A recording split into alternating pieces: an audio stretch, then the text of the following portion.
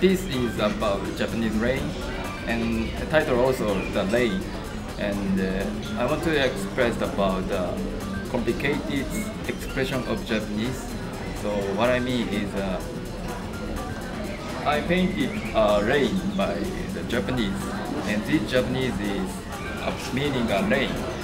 But actually, each Japanese a uh, little bit different meaning of rain. So some of Japanese is like uh, winter rain, or some of it summer rain, or something any different. But and actually, almost I don't know even the Japanese. And also, it has Japan has. Uh, over 400 meaning of rain and that is so complicated and that is I want to express by my piece.